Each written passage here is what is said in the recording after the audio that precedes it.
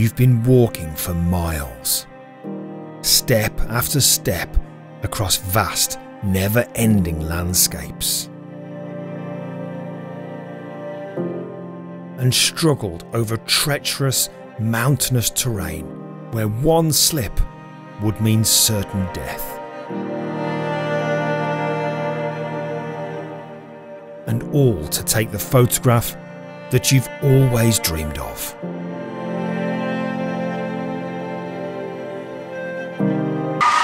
But when you arrive, there's lots of people and distractions. Not a problem though, because in this video, I'm going to show you a super quick and easy way that you can get rid of it all using Photoshop.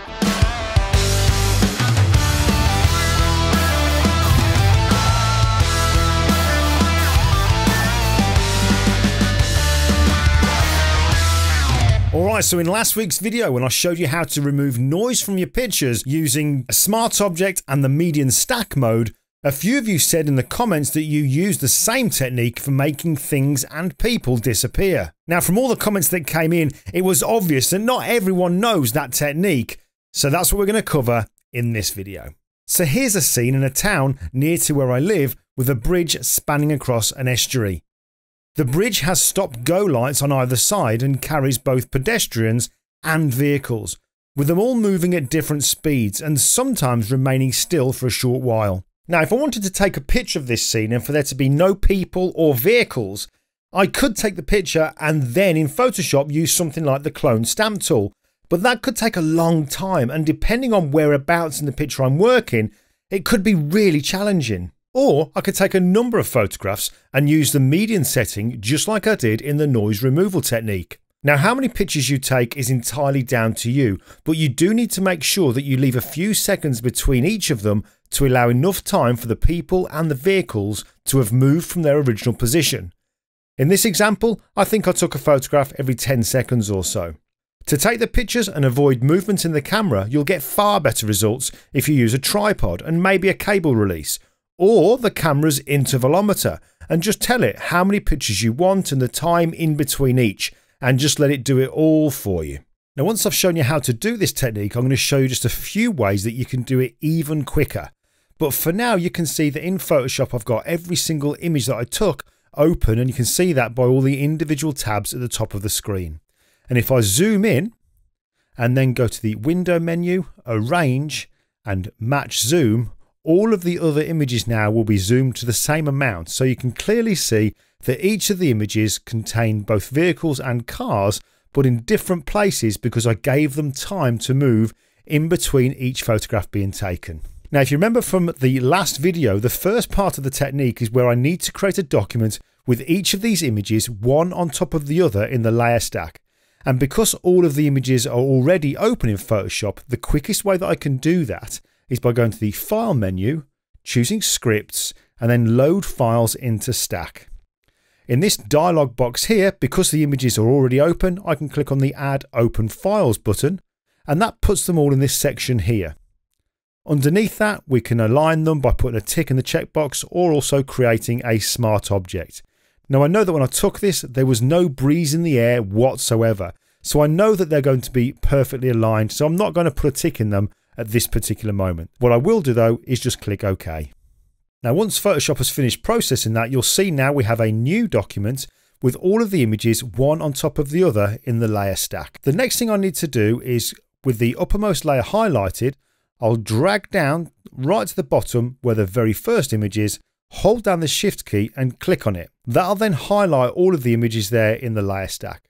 I'll then create a smart object by going to the flyout menu in the top right hand corner of the layer stack and choosing convert to smart object.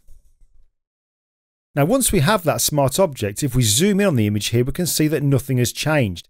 That's because we need to now do what would be the final step and use that median in the stack mode. So I'm going to go to the layer menu, smart objects, stack mode and then median. Now, when I do that, keep an eye on the vehicles and the people that you can see walking across and driving across the bridge.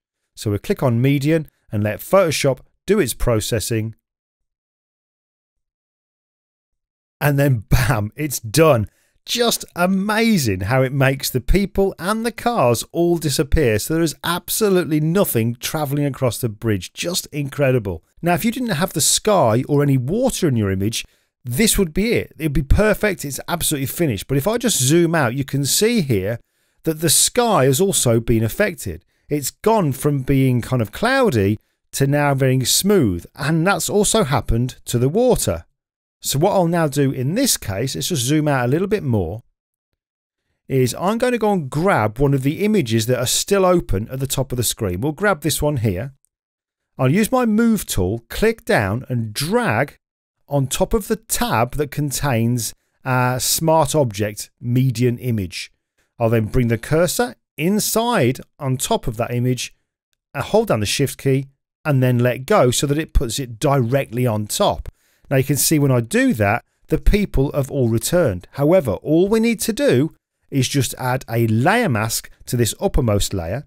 I'm going to get a brush, a normal round soft brush. So just check up in here that we've got 0% hardness and a black foreground color so that now all I need to do is to hide the contents of this layer to reveal the result of the layer below, which is where we use the median and the people and the cars will just disappear. So now you know the steps involved, let me take a few moments to show you a few ways that you can reduce the steps so that you can get this done even quicker. If you use Lightroom, one quick way to send all the images into Photoshop and be one on top of the other in the layer stack is to highlight them all by holding down the Command key on Mac or Control key in Windows and pressing A, then go into the Photo menu, Edit in, open as layers in Photoshop. If you use Bridge, you can do exactly the same by highlighting all of the images, going to the Tools menu, Photoshop, load files into Photoshop layers. In Photoshop, rather than opening all the images up, when you have the welcome screen, press Escape to go to the main Photoshop workspace, then go to the File menu, choose Scripts, and load files into Stack. You can then navigate to individual files or a folder of images. Even quicker than that, though, you can go to the File menu, choose Scripts and Statistics. At the top here, we can choose the Median Stack mode. We can navigate to a folder of images, open those images up so that they appear in this section, and then also automatically align them, and then click OK. Now, just like before, the people and the vehicles have now gone, but because this image contains both sky and water, we need to fix that by adding an original image on top. So I'll go to the File menu, choose Place Embedded, choose one of the original images, click on Place, that will put it directly on top. I'll press enter or return to commit it. Now, because we automatically aligned all the images, I'm also going to need to align this image that I've placed directly on top. So in the layer stack, I will highlight both the images, go to the edit menu and choose auto align layers. But you'll see here it's grayed out. And that's because we can't align smart object layers. So I need to rasterize these to make them normal layers. I'll go to the layer menu, choose rasterize all layers. And you can see now it turns them into normal layers. I can then go to the edit menu, auto align layers, leave it in auto and click OK. And then all I need to do is to add a layer mask to that uppermost layer, get a soft black brush and then just paint the people and vehicles away. So there you go, Median, incredible technology in Photoshop, but it doesn't stop there. There's so much more you can do with it, but I'm going to leave that for another video. In the meantime though, it'd be great if you could support this channel for free by giving the video a thumbs up and also clicking on that subscribe button. But for now, that's me, I'm done. I'll see you in the next video.